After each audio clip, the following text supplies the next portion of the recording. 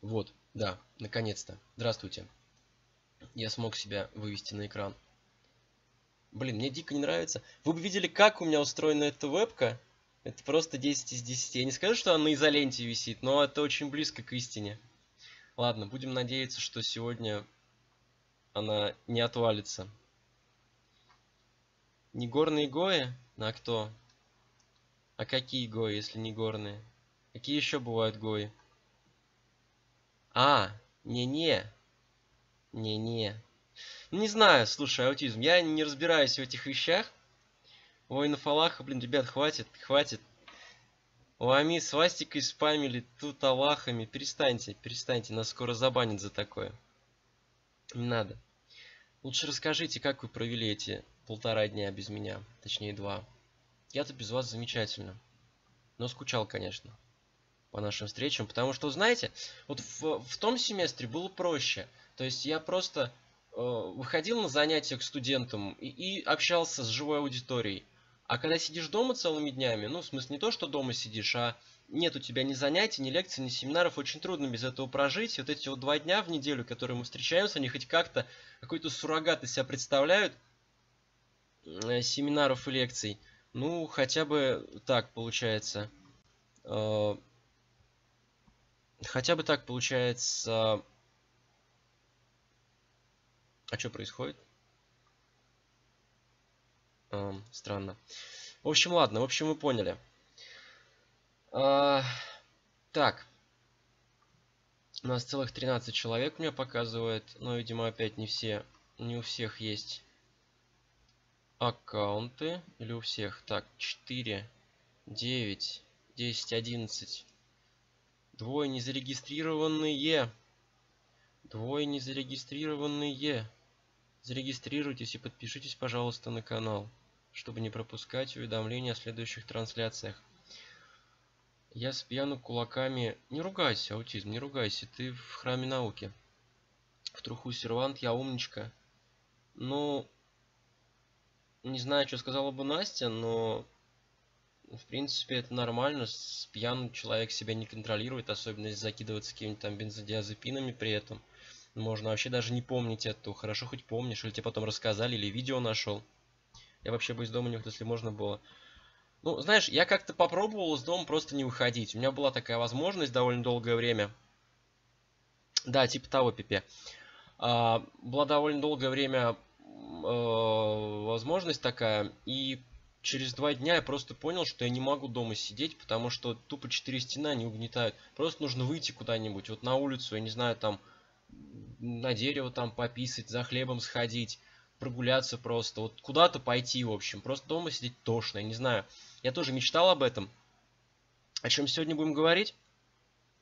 Сначала я хотел с вами обсудить Последние новости. Э, то, что я за эти два дня нашел прикольных вещей. Кстати, я подумал, что было бы неплохо, наверное, наверное, организовать э, такой день, может быть, раз в две недели или раз в неделю, э, когда обсуждать типа там какие-то новости науки, например, последние, или что-то в этом роде. Ну, не все новости науки, они скучные, потому что, ну, например, э, свежий выпуск там National Geographic, который я выписываю регулярно, там очень прикольный вот, э, в этом месяце был выпуск.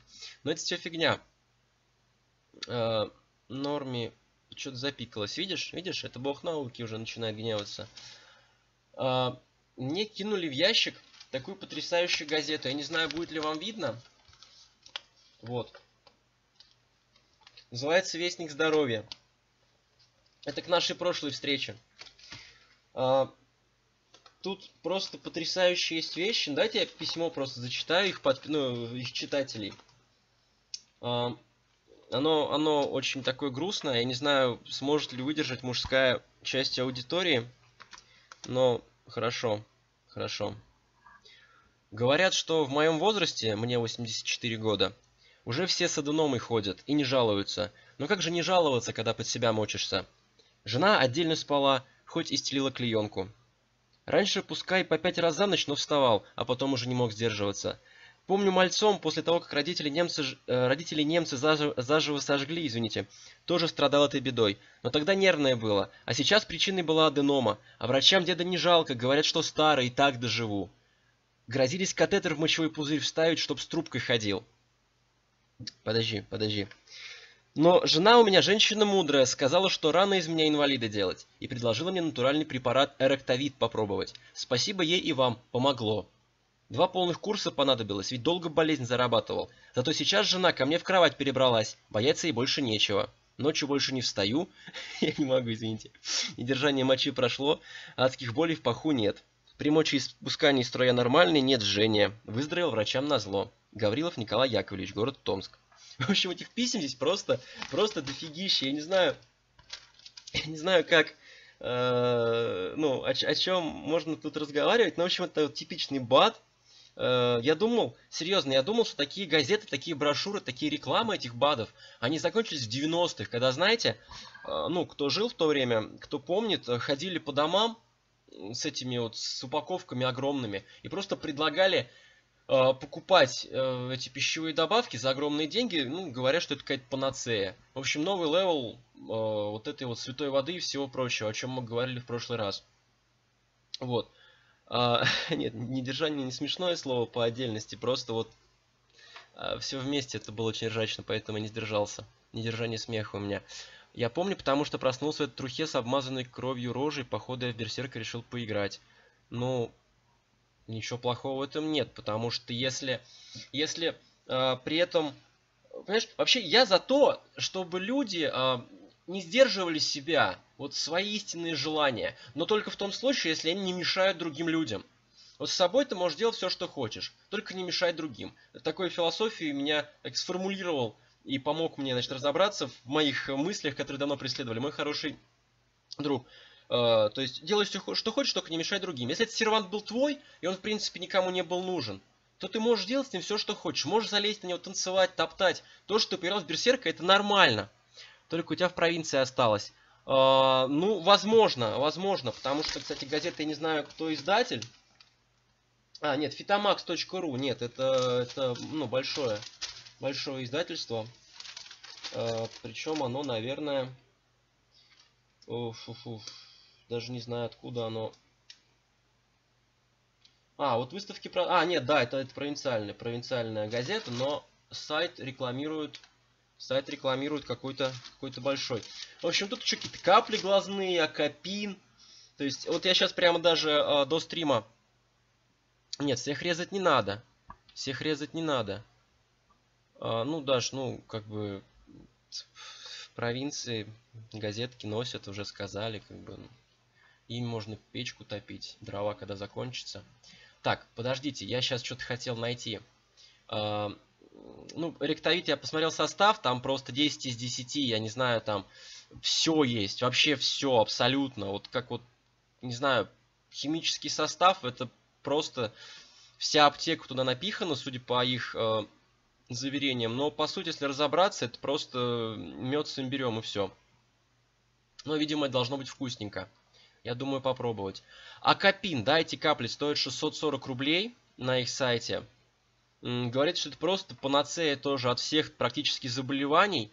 А, от глукомы и всего прочего, заболеваний хрусталика, синдрома сухого глаза, диабетической ретинопатии э, и так далее.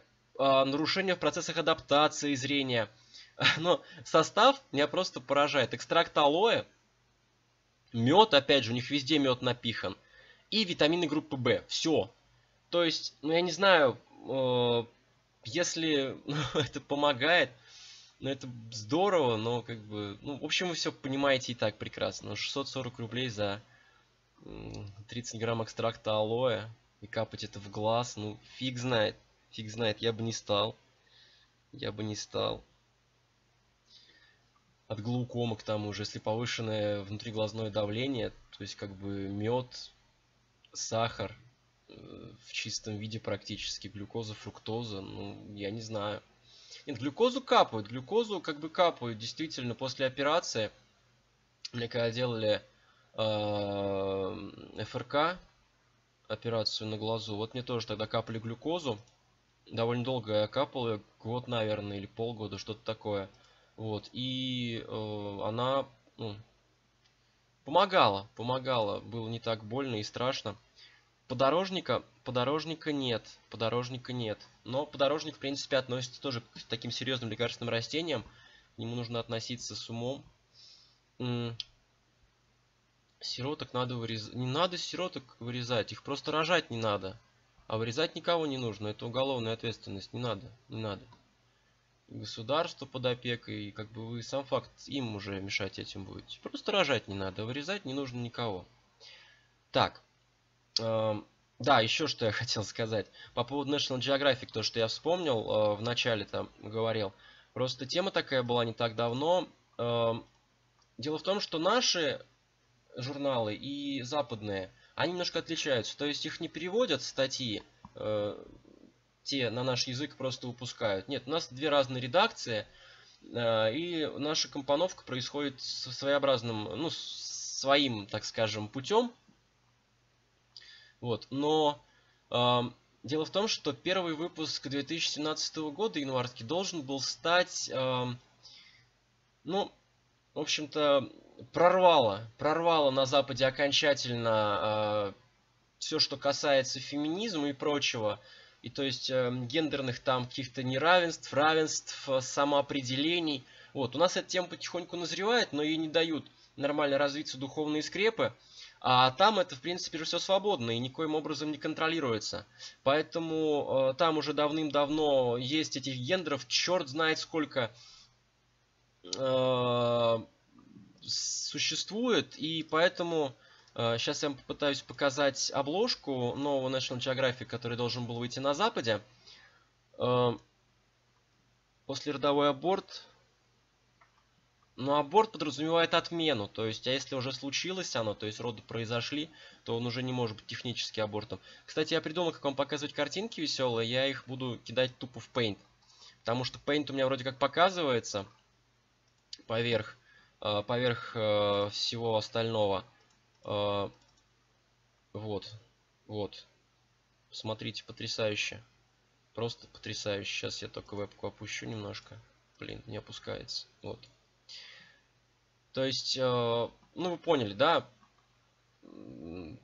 Трансгендерная женщина, бигендер, трансгендерный мужчина, андрогин. Вот один тут нормальный мужик есть трансгендер, это я уже называл. А, тут две трансгендерные женщины, да? Интерсекс. В общем, там столько у них этих полов, там еще какие-то... Что-то там с перекосом во что... Да-да-да, гендер, гендерные флюиды. Вот-вот-вот всякие там метросексуалы и прочее. Кстати, нормальной бабы на этой картинке нету. Но я думаю, это просто места не хватило. Ну или просто азазы феминистки лососнули. Ну, не суть. В общем, а, и суть-то в чем? Поднялся бунт а, к тому, что на этой картинке не хватает очень важного дополнения. Очень важного дополнения. А, а именно вот такого. Сейчас. Сейчас.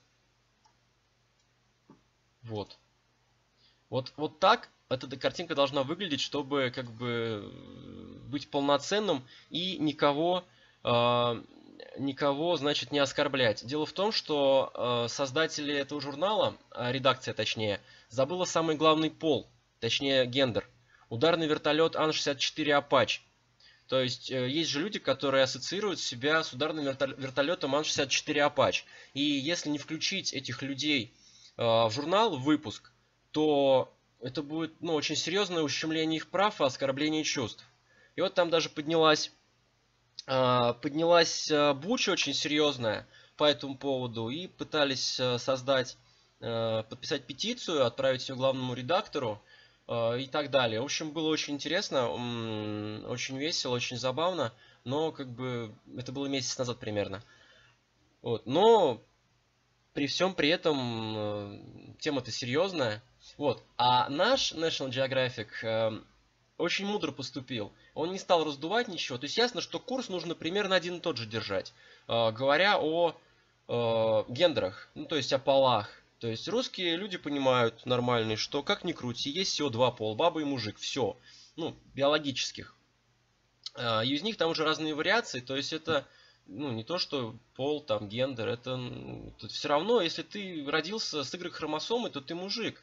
Если ты родился с двумя X-хромосомами, хромосомами, ты баба, как ни крути.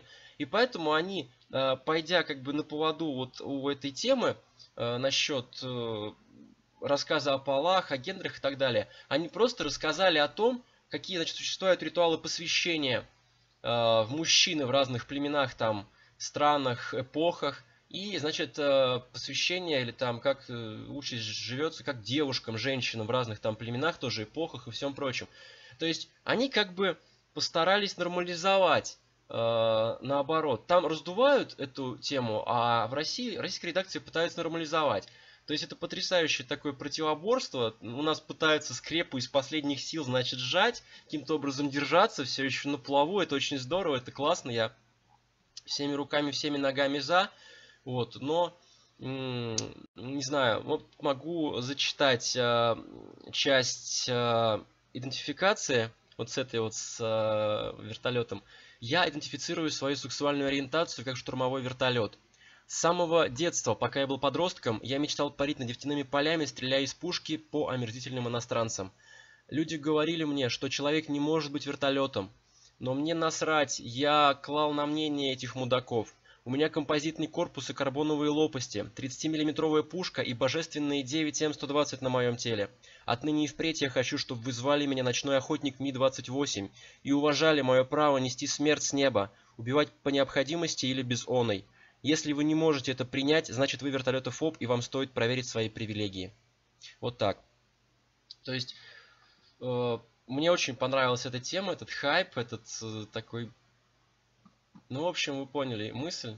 Я вот об этом хотел поговорить, когда э, писал, что поболтаем о всяком. Ну, вот это вот всякое я, я в виду-то и имел, собственно говоря. Эм, да, кажется, это было все. все. что со мной произошло за последние два дня. И, наверное, потихонечку будем переходить э, к нашей сегодняшней основной теме обсуждения. Поговорить мы сегодня хотели о чем? О чем? О чем? А, да. О том, как работает мышца. О том, как работает мышца и о том, как правильно со своим телом работать, что ли. То есть, э, зная о том, что там происходит внутри нас, можно как-то большую пользу извлекать из того, что мы делаем в своей жизни. Ну, наверное, можно так характеризовать, да, э, нашу сегодняшнюю тему. Поэтому начнем, наверное, с того, что же такое мышцы вообще. Кстати, сколько интересно от начала прошло? Минут 25, наверное, уже, да? А мы только переходим к основной теме, как обычно. А, мышца, да? Мышца. Вот смотрите. Смотрите. А, есть...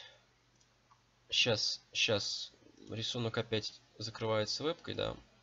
Ну, не суть, я расскажу. Я расскажу.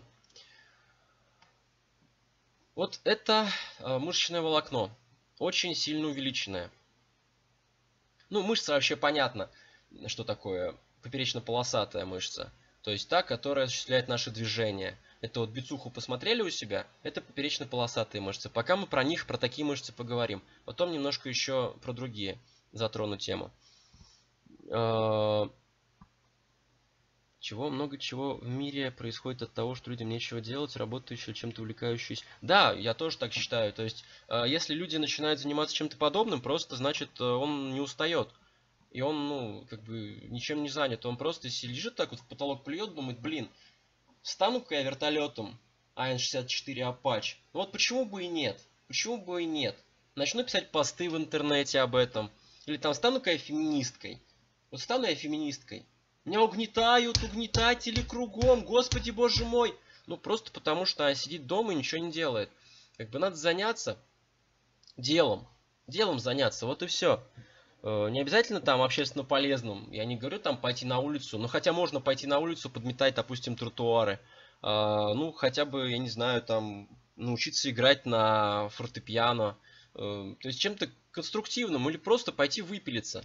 Но не надо мешать другим людям жить. То есть те люди, которые вот это вот все устраивают, а, причем публично, публично, они мешают другим людям и не должны этого делать.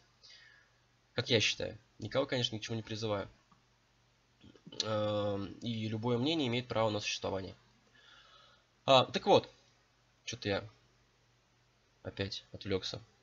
Зарепортил канал, да, да, да, да. Права чекни. В смысле, какие права?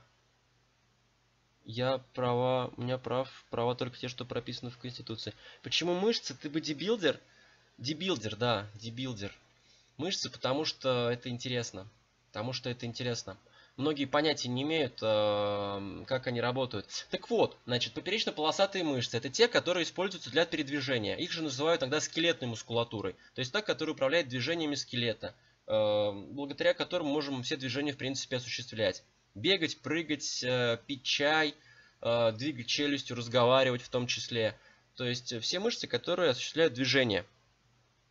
Движение.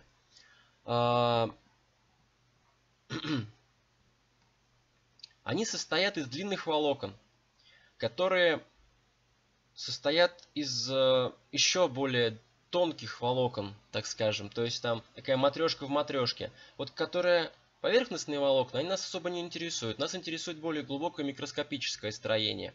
Вот эти вот товарищи, вот это вот, вот, вот это вот, все это одно волокно. Но оно гораздо длиннее, конечно, но в толщину оно около ну, приблизительно 5-6 нанометров, может быть, вот так. Э, и оно состоит из чередующихся таких вот нитей. Э, миозина и актина.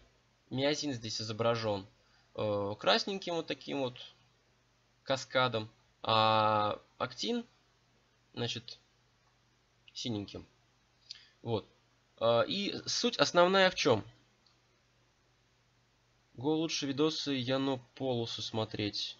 Я не знаю, кто это, но Go можете пойти посмотреть, как бы, ну, это не мешает. А, сбили меня. Значит, мышцы, да. А, сокращение этой мышцы происходит следующим образом. Вот здесь вот, недорисовано немножко, между вот этими вот структурами имеются такие вот мостики, соединяющие их. Эти мостики, они могут образовываться и разрываться. Ну, логично, они не постоянные, это я к этому говорю. И для того, чтобы этот мостик совершил движение, то есть э, он как бы немножко изгибается и смещает вот эти вот синие э, структуры, да, актиновые, ну, не актиновые, точнее, а в общем-то, неважно, как их называть, по большому счету, да, актиновые волокна навстречу друг другу. Вот.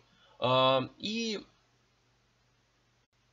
когда это происходит, связь между актином и миозином разрывается и должна образоваться новая. Чтобы это произошло, нужен, нужно, чтобы произошла затрата энергии. Затрата энергии у нас э, берется только из одного компонента. Он называется э, вот так вот по-английски или очень похоже вот так вот по-русски. АТФ или ATP, аденозин-3 фосфорная кислота.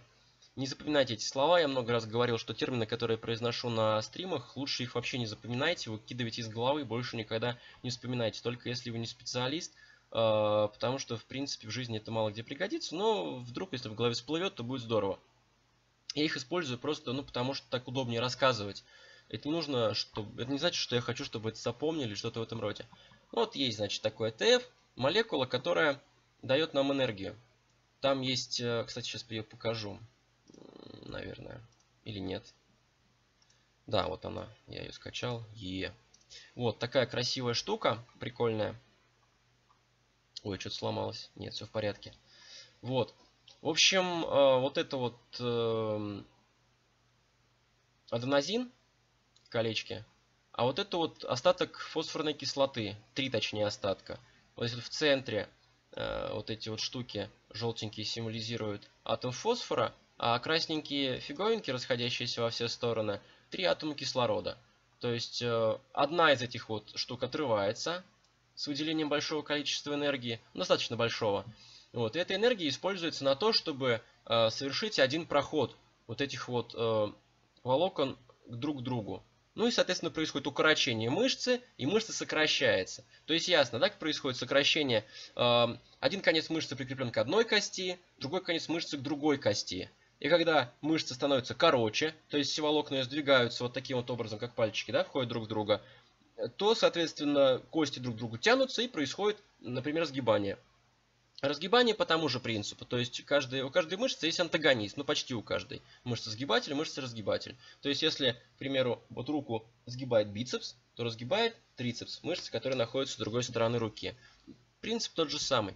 При, при всем при этом мышцы, они никогда не работают на полную силу. Если бы, к примеру, э, мы согнули бицепс э, максимально сильно, то получили бы перелом кости, потому что мышцы на самом деле это колоссальное силище, они могут реально сломать кости. Ну, в принципе, это наблюдается иногда при очень сильных стонических судорогах, когда люди э, неосознанно, да, в судорогах э, сгибают, э, ну, сокращают мышцы так сильно, неосознанно, повторюсь, что э, просто-напросто ломаются кости реально. Вот. Но одновременно нельзя, чтобы, были, чтобы работали мышцы сгибатели и мышцы разгибатели. Это тоже может привести к разрывам, переломам и так далее. Этого, в принципе, не происходит без каких-либо патологий. Вот. А, и при всем при этом мышца, она очень э, такой, ну, как скажем, очень совершенный компонент, потому что, к примеру, коэффициент полезного действия волокон равен примерно 50%. Но всей мышцы меньше, около 30-25, но все же это очень высоко для биологических механизмов. Это происходит из-за того, что химическая энергия ТФ непосредственно переходит в механическую энергию движения. А я напомню, что человек пока такие механизмы практически э, ну, не может использовать, нет аналогов. Э, для тех, кто не знает, я сообщу, что, вот, например, эм, даже атомная электростанция, она все равно не использует атомную энергию, ядерную энергию для выработки электричества. Она не может, мы не можем, человечество не может э, ядерную энергию обуздать и э, в электрическую создать. Сперва они делают из нее тепловую, то есть они с помощью этих ядерных, э, как их называют, господи, стержней. Э, а, господи, Ром подписался, я оглох. Извините, пожалуйста, агент отключу, если кто-то тоже оглох. А, спасибо за подписку. А, но для того, чтобы значит, эту энергию произвести, нужно сперва просто тупо этими стержнями воду разогреть. И эта вода разогретая, превращаясь в пар, э, вращает турбины.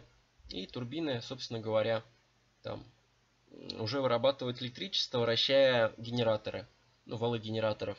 Вот. Э, то есть химическую движение это очень трудно привести. Все равно она будет через, либо через механическую, либо через тепловую. А там непосредственно, поэтому очень высокий КПД.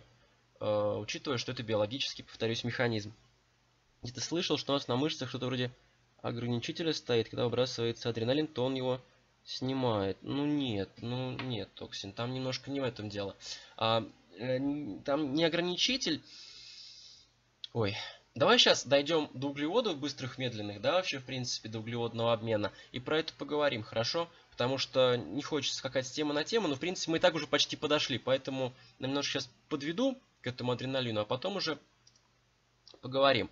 Вот так, в принципе, работают мышцы. Так работают мышцы а, в общем и целом.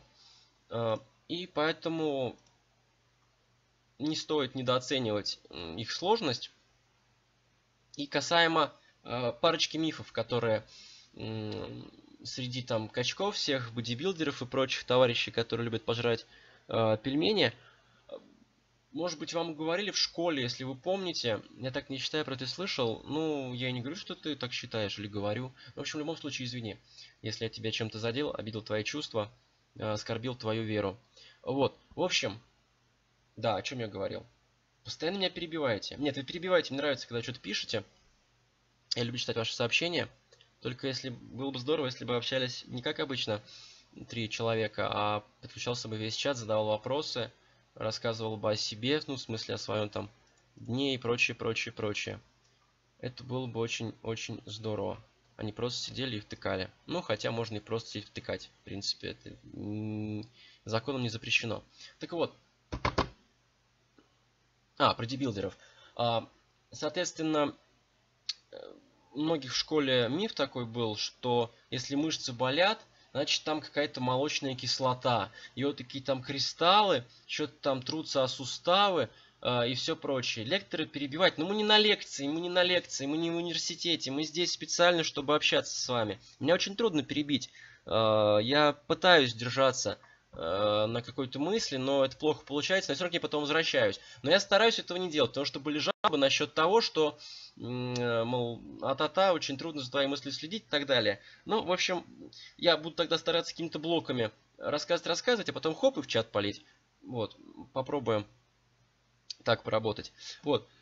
А, но на самом деле, конечно, никакой молочной кислоты, э, то есть она есть, хотел сказать, нет, она есть, э, но не она причина. Молочная кислота, которая вырабатывается, действительно она есть, она является причиной э, жжения в мышцах после тренировки непосредственно. То есть, ну или нагрузки физической какой-то. То есть, когда сразу начинает вот сжечь, гореть, вот это ощущение. Это молочная кислота. Не буду углубляться в подробности биохимии мышцы, оно, в принципе, нам сегодня не нужно. А, но она вот в этом участвует. А когда мышцы болят через 1-2 дня, то это другое. Это микроповреждения, которые э, в этих вот мышечных волокнах образуются и э, воспаляются. То есть любое повреждение в организме, да, это почти всегда воспаление. Воспаление туда, значит, начинает пытаться дойти иммунная система, кровеносная система, туда больше крови идет. Для чего? Чтобы, во-первых, убить бактерии, которые туда могли попасть, но туда они не попадают, поэтому мы не умираем из-за этих повреждений. А во-вторых, для того, чтобы доставить как можно больше питательных веществ, чтобы это все зажило. Так вот, самый простой способ, э, как избавиться от этой боли, это, во-первых, снять воспаление, то есть приложить холод, если совсем не в моготу. Ну и во-вторых, это покушать, элементарно покушать, потому что чем быстрее мы восполним недостаток веществ в этих мышцах, тем быстрее они восстановятся. А покушать нужно что? Белки и углеводы. Белки и углеводы. Ну, с белками мы разобрались, по-моему, в прошлый раз. Там мясо обязательно есть, если тренировка. Ничего там не поможет. А, почему больше болят, чем в первой? Ну, потому что начинается этот процесс заживления и все прочее. А, это дополнительно приносит э, туда кровь, начинает поступать активнее и так далее.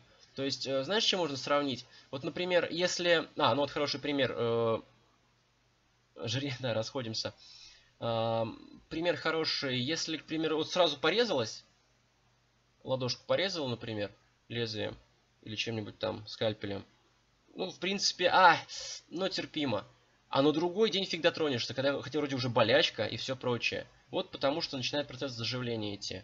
И ноцирецепторы, которые присутствуют и в мышцах, и в коже, и везде, они тоже начинают видоизменяться, их начинает там колбасить, они тоже начинают восстанавливаться, расталкивая другие. То есть пролиферация начинает происходить, и пролиферирующие, то есть клетки, которые, которые очень активно делятся.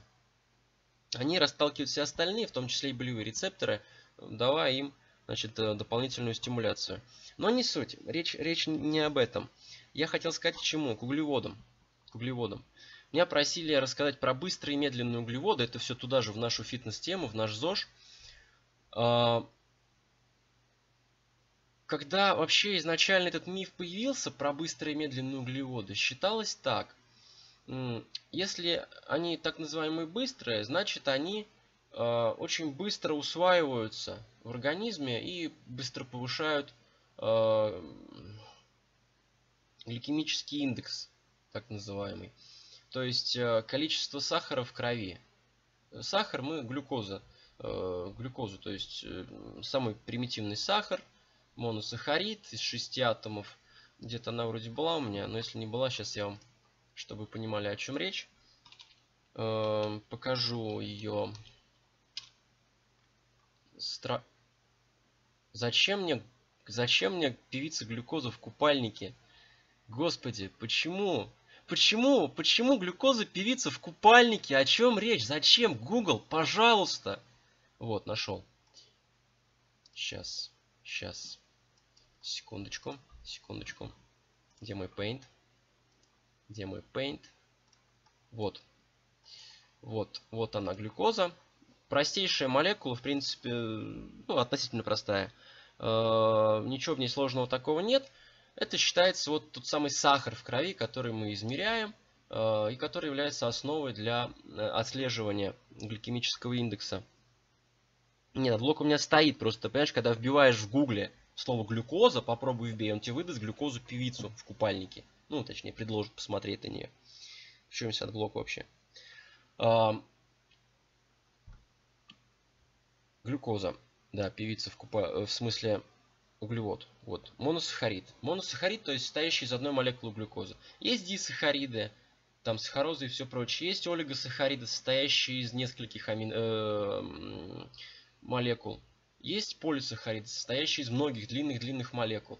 Так вот, считалось, что моносахариды, нет, не, не баннеры, Моносахариды, они быстрее усваиваются, их называли быстрыми углеводами. То есть была байка до 80-х годов, что если кушать, значит, чистый сахар, э, мед, э, ну, зеленые какие-то углеводы, то есть те, которые содержатся в зеленых частях растений, например, то они быстро всасываются в кровь и быстро повышают этот индекс до огромных величин.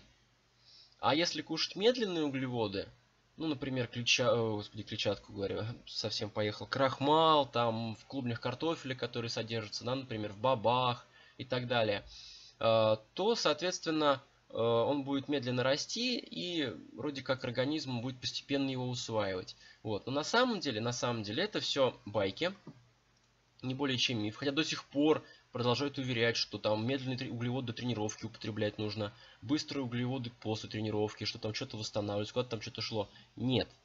Нет. На самом деле все примерно вот таким образом обстоит. Сейчас я эту штуку увеличу. Вот. Это график. Это график, который показывает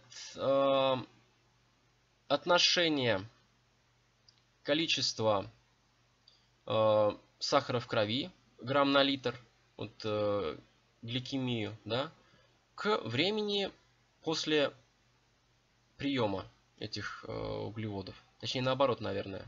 Нет, все правильно. Y от X зависит, да? X от Y. Нет. В общем, вы поняли. Короче, этот график показывает, э, сколько будет углеводов в крови, точнее глюкозы в крови, через какое-то время после приема конкретного углевода. Так вот, как показывает исследование, разницы никакой нет. На самом деле, на самом деле, а, все дело в том, что быстрые углеводы просто-напросто быстрее освобождают желудок и продвигаются в тонкий кишечник, чем медленные.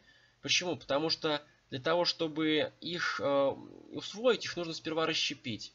А вот э, уровень в крови э, примерно одинаковый, 25-30 будет у каждого из них. Приятная подача. Благодарю. Сейчас времени запись с досмотрю. Да, запись будет. Э, будет и в группе. На YouTube выложу. И здесь какое-то время будет висеть. Поэтому, пожалуйста, вступайте в группу. Подписывайтесь на канал, смотрите. Недавно мохнатку прибивал жука, когда приехал, потом долго думала, как развидеть. Нет, мохнатку я не буду забивать в Google, спасибо. Я хочу еще немножко с нормальной психикой заснуть сегодня. Так вот, э, Поэтому не нужно верить всем этим байкам. Э, углеводы, в принципе, равноценны. Но только разве что, э, если жрать чистый сахар, то очень трудно это контролировать. Нужно как-то э, все тренировать организм для того, чтобы он не перестал вырабатывать ферменты, расщепляющие сложные углеводы. Потому что, знаете, нарушение работы любой системы влечет к нарушению работы всего организма в целом. Поэтому, если уж мы привыкли наш организм питаться сложными углеводами в том числе, ну, давайте не дадим э, ему возможности отказаться от этого, а будем поощрять его всячески и всячески. Вот. Это касаемо углеводов, быстрых, медленных и так далее. А, еще был момент, о чем-то я еще хотел поговорить, какой-то отметить э, аспект. Мышц, физкультуры. А, ну, собственно говоря, вот, наверное, и все. Вот, наверное, и все, что мы хотели, о чем мы хотели сегодня поговорить в основе в основе, повторюсь. Есть у меня еще дополнения некоторые по этому поводу. А, дополнения вот какие. То, что касается углеводов. А, если говорить о роли углеводов, то, конечно же, это в первую очередь все знают энергетическая функция э, в организме. Если, э, хотя у них очень невысокий относительно невысокое выделение энергии, 4,1 килокалории на 1 грамм, как у белков. У жиров гораздо больше, в два раза почти больше. А, но не стоит забывать, что углеводы, они запасаются. То есть они запасаются в виде крахмала у а, животных, у растений, извините, и в виде гликогена, гликогена у животных. То есть мы можем получать углеводы как из мяса в виде гликогена, так и из травы, да, в виде крахмала. Ну, не травы, а разных частей растений. Зеленых в том числе. Эм, но они запасаться могут еще и в виде жира. То есть нерастраченные углеводы, они запасаются в виде жира, преобразуясь через цепочку химических реакций. То есть э, мы толстеем не от того, что едим жирную пищу, то есть не столько от того, говорят, если вот жирное не есть, то не потолстеешь. Нет, это не так. Если не двигаться, потолстеешь и есть при этом. То есть очень просто. Нет какой-то диеты, э, которая сто процентов вот избавит тебя от... Кстати, да, про похудение, вот как раз к этому и говорю. Нет какой-то диеты, которая э, сто процентов э, сделает из тебя там красавчика или красавицу, стройную, с осиной талией и так далее, если ты будешь на жопе сидеть. Этого не случится ни в коем случае. Либо у тебя есть какие-то природные данные, то есть ты ешь-ешь и не толстеешь. Такие люди бывают, э, ну, у них очень высокий метаболизм. Но они в туалет, как правило, часто ходят, у них не успевает просто все усваиваться. Вот. А если, ну, обычный человек, который может набрать массу, и сбросить э, вес, да, лишний, ну, в зависимости от своих там, от своего образа жизни, э, то нужно обязательно двигаться, потому что без этого похудеть просто невозможно. Потому что если у нас есть какие-то запасы, мы должны их сжечь. Жиры переводятся, переводятся обратно в углеводы и сжигаются. Ну, не совсем в углеводы, то есть не происходит там обратной реакции, да, э, но э, в энергию, в энергию переходят жиры и э, используются для работы мышц. То есть там вот это АТФ тоже образуется, который необходимо для сокращения мышц. Ну, не только для этого, для очень многого необходимо на самом деле. Для всех процессов в организме, которые подразумевают использование энергии. Она в виде именно АТФ у живых организмов на Земле эм, запасается используется. Вот. Но без этого никак. То есть э, движение жизнь. Движение жизнь, друзья. Поэтому надо двигаться, надо заниматься физкультурой.